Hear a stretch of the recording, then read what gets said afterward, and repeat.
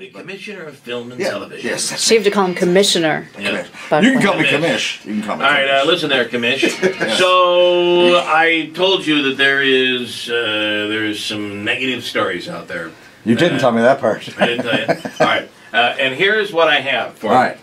The uh, the guys who did the movie that they so explain what happened. They came in and they filmed a movie in uh, in downtown Utica Right. on Sunday. It closed down a street Sunday, the, Sunday, Monday. the whole nine yards. Apparently, I guess around Tuesday or Mon- Monday or Tuesday, they got in trouble up and they ran into some difficulty finding locations in Syracuse. Mm-hmm. So they called me on Wednesday. They had the location manager came down and met with him on Wednesday. I met the director and the DP, the director of photography, on Thursday. We showed them some locations. They loved it.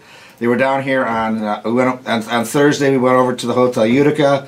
They love that location there. Yeah, yeah. And uh, we had all the locations set out, and they then they set up hotel rooms and catering and stuff like that through the hotel. So money came to town. Oh, it was, and, and, and, every- it- what was amazing was, and then we also put him in front of the uh, the police chief and the fire chief. They were all there. John Roman from the UFD, and uh, all of a sudden things just started falling into place, and I couldn't believe how wonderful it was all unfolding. It was like it was all like, like it was scripted, and Yeah. it wasn't, of course, but well, like, that's that's this, that's the problem. That's exactly what they how they've described it. That their experience in Utica, and this is was perfect. Okay. Uh, the negative comes in about uh, the treatment they had. You know how New York has been touting, "Come to New York, make your movies." Yes, yes, yeah. yes, If yes. you're a big company, Right, if right. you're Sony Pictures, come to New York. We'll take care of Right. you. But if you're an independent guy like this, they receive no help. Right. And in Syracuse, the fees were so big they couldn't afford to do it there. That's why they came here. And they said the experience they had in Utica, this is, I'm getting the second hand, but the experience that they had in Utica was phenomenal. Yeah. I was very delighted with the with the response. You they were got. nervous for a second, weren't you? You thought No, was- no, I don't no, think no, you no, really no, no, I, I, I, as a matter of fact, I'm I'm I'm in euphoric state right now because everything went so smoothly. That's I- what they said. And I was amazed at the uh, the turnout. The, the people of Utica are amazing. I mean, we, they asked for extras, so we put the, we put a media thing out there. Yeah, Thank yeah. you for, for your help on that. And I got a call Friday night. They said, please put a stop on the extras. I mean, they had too many extras, and they had extras yesterday at the train station. They had about the, at, the, at, the, at the site crash over by the Hotel Utica. They had three sets of extras that they were Wow. using, so it was amazing. And everybody was there. They stood in the cold just to be in this movie, and it was absolutely wonderful. And all the uh, the police department and the fire department, I can't say enough about them. You know, Chief Williams, uh, Captain Noonan, Chief uh, Brooks, and Captain uh, Deputy Chief uh, uh, John Roman. They were all wonderful. Listen, I I, uh, I hate to say, but the what we have right now, and we have a lot of empty buildings. Like it or not, Yeah. they're the warehouses, old manufacturing. There is a there there's a there's a, a great backdrop Right. there. I mean, why not take advantage of that right now? It's very location. Utica is location rich with uh, for stuff they want to do like we that. are, yeah. And uh, also, Chris Talgo opened up his store so they could use that storefront. I mean, everybody was just wonderful. And the vendors on that street, I don't know what do you want to call it, like Genesee Street Bag Square, the Yeah, coffee yeah, shop, Frank yeah. and uh, Frank and Heather. Thank God there were a little problem there early in the morning yesterday, but then that that was resolved. But uh, classic pizza, everything was wonderful. What was the problem?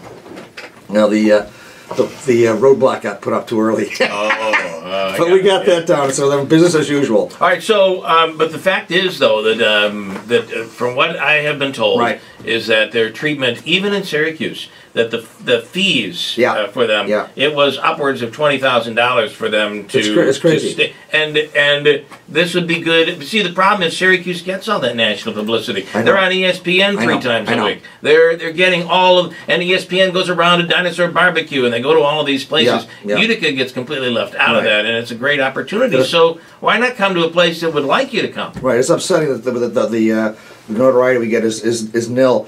But Yeah. I'm gonna try to chart, uh, change all that because you know it's the film commission um, down in Albany. We got to change all that. Mm-hmm. The guy was here, but all they you know they get as far as the train station. I think that's the only location we have here. But Right. I've got to get them here, and I'm, I'm working on that now. But uh, you know, it, the people love it here. And, and, and if you look at the the, uh, the Oscars this year, all the nominees, most of those are indie indie films. Yeah, So yeah. the low budget, they're like like And there are a lot of white people here, so I mean, uh, they could. You had to go there. I don't get it. You had to go That's there. the Oscar thing. They're Oh, complaining oh, already, oh, oh, oh, okay. Oh, I was wondering who was taking that. Sorry. So I, I was going to say, you talked about people come here and they think the train station is all we have.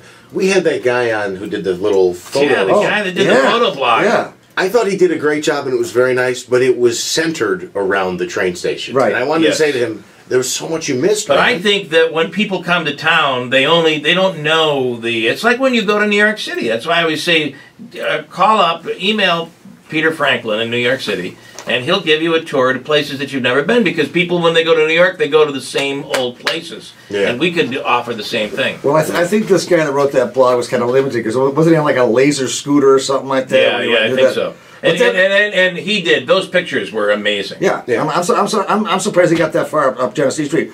But that was basically the reason why David Farrell, uh, you know, started that commissioner of films uh, Yeah. position was because people come in, they want to know what's going on. I show them around, I know exactly what they're looking for, what genre film they want to do, Right. and I say, well, I got this building, I got that building, and all of a sudden they fall in love. They're moving in here and stuff. But we're not getting enough films. You know, before I was getting a lot of student films, now I'm getting some indies. It's great, and the and the. Yeah. people love love, love this stuff. We had a couple kids, some independent filmmakers that wanted to come down, and get their name out there. I mean, they were they weren't getting paid squat, and so they just came out and uh, hung out there, saw how the the glamorous life of filmmaking. You know how that is, William. It's just le- But to be able to around write, to be able to be a film student or anything like that, and to be able Oh, to yeah. go out and see some Yeah, of what they. yeah, yeah. Is it true that Stephen King uh, uh, has written some of his books staying in Utica? I've heard that's true. I don't know. I don't know. I've heard that story too. Yeah. I don't know if that's Yeah. true. I probably made it up about ten years ago. Well, sounds people- good. What's wrong- what's wrong with now, it? But I'm pretty sure it's true. Well, there was a, a, a while back that his daughter was actually a minister at a church on Higby Road. So, Yeah, is that true too? yeah. Wow. What do you mean? Like she lives here? She, well, she Oh, doesn't she was a minister. She was a minister of the church. I guess that her and the congregation ended up um, not agreeing on a lot of things, and she ended up leaving. But for a while, she was uh, the pastor. Is that church right on? I think it's uh, Uni- Universalist or Uh, On Higby, as you're going up, it's got a right-hand turn, and you Yeah, go in. like the first one Used to be like a farmhouse in there or something. yeah. Right. All right, there, Buck. Well, wait a second. I got. I got you're not Oh. filling me out yet. You have more. Oh yeah, we, well we, we, we ran into a problem. You know, the train station. They wanted the train station. They wanted to shoot that on Sunday. All of a sudden, a little problem came up because they had the train show there, the mini train. So these Oh, people were flexible. that, they yeah. were flexible enough where they could move their shoot to Monday. So I right see. then and there, they, they said, let's book the rooms at the Hotel Utica. Let's do the catering. Let's do, and they opened the bar. So some of the shooting happened on uh, Sunday, but some of it happened on Monday. Oh, yeah, too. Sunday and Monday. So they extended, Yeah. and, and that's the difference. Their their stay cost them hotel rooms, Right. Maybe paying people a little bit longer, but it didn't involve a twenty thousand dollar fee that they no, were being no, charged. no. We I haven't I haven't incorporated those as of Yeah, yet. that. yeah. Wait till we start getting the Sony picture deals, then we'll But did, did you see that they, they took over KTV yesterday? They, t- they took over WKTV and shot there because the story is about irrefutable proof. Is the story is some scientist, some lady scientist, discovers that God doesn't exist, and, right, the, ir- right. and the irrefutable proof comes Well, from wait, a wait, wait, person. wait, has- before you ruin another movie on these airwaves, Sorry, I, have- I, I haven't don't go too far. okay, there. well, it's gonna, it's gonna. I guess it's gonna screen. It's gonna debut in uh, Yeah. in the fall in New York City. So we're all going down. All right, Okay, really let's go, cool. yeah. a bus trip or something? Let's do it.